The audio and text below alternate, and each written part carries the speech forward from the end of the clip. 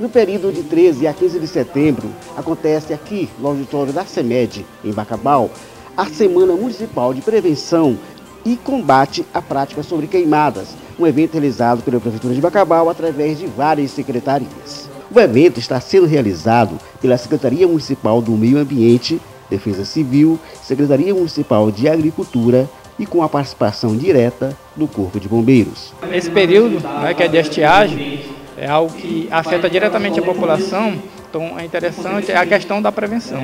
E a Defesa Civil é um sistema.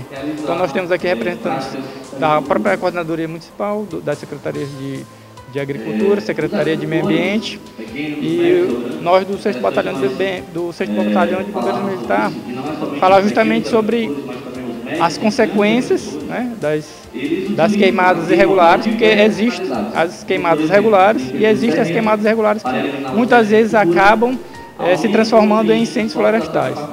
E é isso aí afeta diretamente a população, tanto no que se diz ao fogo em si, o risco, risco tanto a flora quanto a fauna, mas também como a questão da fumaça, que é o que mais incomoda que observamos nos últimos anos. Né? A fumaça incomoda muito a população.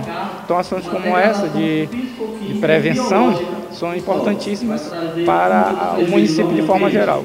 Francisco Fontinelli, da Secretaria Municipal do Meio Ambiente, destaca a importância do assunto. A gente vem percebendo que, apesar de várias campanhas que já se vem fazendo, nós na Secretaria é, temos investido desde 2019 nessas questões, mas a gente percebe que, apesar dos avanços, o problema continua. E agora, este ano, nós resolvemos é, juntar um batalhão maior para que a gente pudesse é, ampliar esse trabalho. E a gente espera que não somente um dia ou em eventos feitos com, com uma classe, como no caso dos lavradores, eh, a gente possa avançar nesse trabalho. O evento também discutirá prevenção e combate a incêndio florestal. O secretário de Agricultura de Bacabal, Inaldo Nascimento, destaca a realização da semana. E aqui em Bacabal a gente sabe que todo ano nós temos muitos focos de queimada aqui na nossa região. E nós estamos tra trabalhando essa semana de educação ambiental para ver se a gente consegue combater esses focos aqui no nosso município, ou pelo menos diminuir isso. A gente sabe que há uma prática muito grande ainda dos nossos agricultores queimarem. Né? E é um trabalho que a Secretaria de Agricultura vem fazendo no município no sentido de tentar conscientizar os nossos agricultores que nós precisamos ter uma prevenção diante do fogo. Então, assim, a Secretaria vem fazendo um trabalho é, muito grande no sentido de evitar isso. Nós estamos dando apoio ao trabalhador aradando as terras para evitar queimada. Então, na proporção que nós aradamos, nós evitamos as queimadas. Então, é um trabalho que a gente está fazendo.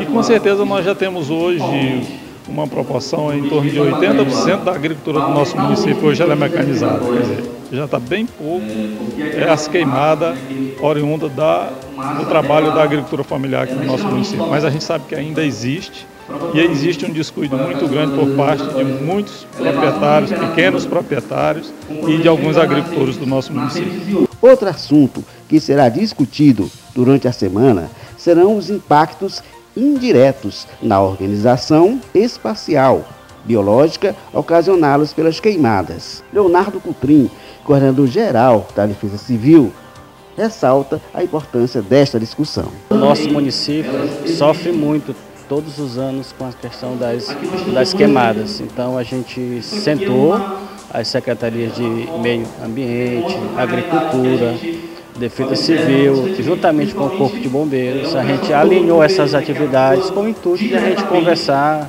aprender um pouco mais sobre o assunto, ver o que, que nós podemos fazer enquanto poder público, é, somar forças para que a gente possa diminuir esses impactos ambientais no nosso município. O Maranhão já registrou mais de 3.500 focos de incêndio em 2022.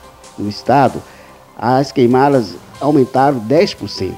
Entre as cidades maranhenses, o município de Fernando Falcão foi a que mais registrou queimadas em 2022. Para prevenir, Bacabal discute durante esta semana o sistema de proteção e defesa civil. Às vezes nós já temos aquele costume de simplesmente tocar fogo, mas às vezes um fogo descontrolado ele traz grandes prejuízos, ele entra em fazendas e propriedades de outras pessoas, pode trazer até fogos para dentro do, do próprio município, trazendo inúmeros prejuízos.